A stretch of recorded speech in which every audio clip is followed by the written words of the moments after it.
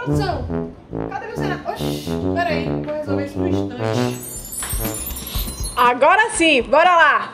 Pugliese joga tudo no ventilador e desabafa sobre os chifres que levou de Erasmo Viana. Não é hoje.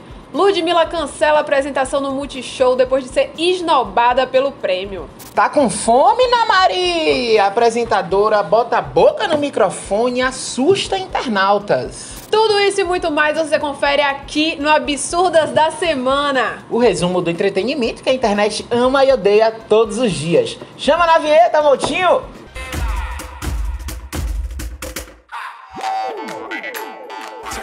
Minha gente, essa semana deu e deixou, não foi não, Luquinhas? Rapaz, vamos começar por Gabriela Pugliese, que jogou todos os podres do seu ex Erasmo no ventilador.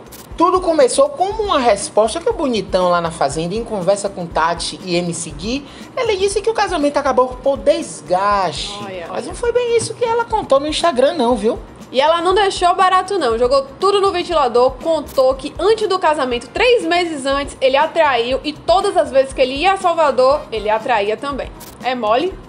Amiga, e lá dentro do confinamento, ele chegou a dizer que eles iam gastar 6 milhões de reais juntos Dividido. que ele iria pagar junto com ela tratamento pra engravidar, mas foi pura.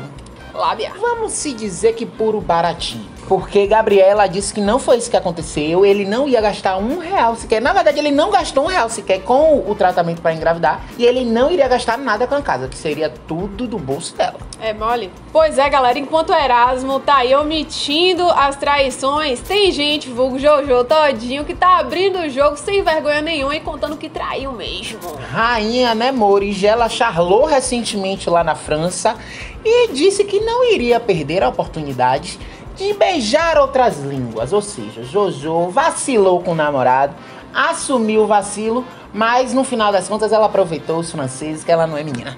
Ela tá errada? Deixa aí nos comentários que a gente quer saber. Antes, me diga a sua opinião. Rapaz, eu, eu vou julgar? Quem sou eu? Só Deus que julga. Abaixo de Deus, não tem ninguém que possa julgar ela pra também. isso. Presa no personagem. Congelada, está calada. Vem aí o prêmio Multishow e nessa semana foi liberada a lista de indicados à premiação e em anexo fortíssimas polêmicas juntos aos indicados. Tudo isso porque a nossa rainha da favela, Ludmilla, não estava entre as indicadas a cantoras do ano. Ela não ficou muito feliz com isso, não. Através do Twitter, a Ludmilla fez questão de listar todos os lançamentos que ela fez neste ano e, além disso, mostrar o- o- os números que esses lançamentos alcançaram e questionou a produção do Multishow da sua não indicação. Ela aproveitou o momento de questionamento também para avisar que domingo ela não vai. E que não vai ter apresentação de Ludmilla no Prêmio Multishow 2021. Se fosse de segunda a sábado, ela iria. Ela poderia Domingo estar não lá. não. Se pá, domingo não. Domingo não.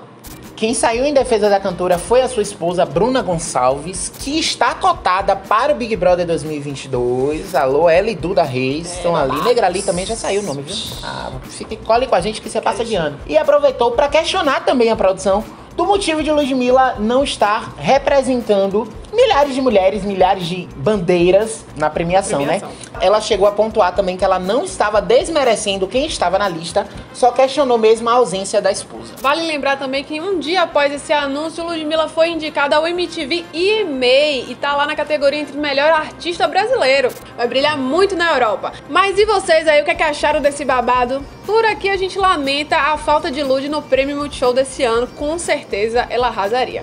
Feitinho de pombo. Minha gente, essa semana Ana Maria Braga, nossa querida Ana Maria, a loura do. Hum, deu um susto na audiência, minha irmã. Ai, O que, que aconteceu? E tudo isso porque a gente viu com nossos próprios olhos ela engolir um microfone, minha gente. Tá passando fome, Ana Maria? Tá faltando comida aí? Gulosa, hein, mãe? Espere aí Menina. no vídeo essa imagem.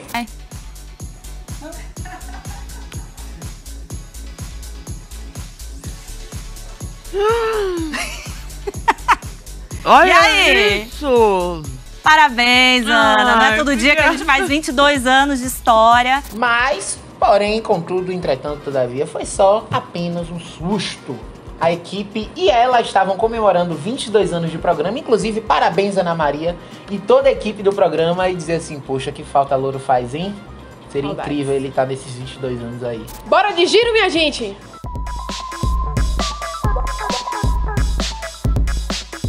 Mais que amigo brothers, Vitão abriu jogo sobre a sua relação com o Whindersson Nunes e disse assim: Ó, tá tudo bem. Tati quebra-barraco acusa a Anitta de ter inveja da sua cobertura em Copacabana. Ô, Anitta. Atriz. Atriz é processada por vender vela com cheiro de pepeca que explodiu. Mistura de Brasil com Dubai, Carla Pérez e Xande posam disfarçados de árabes.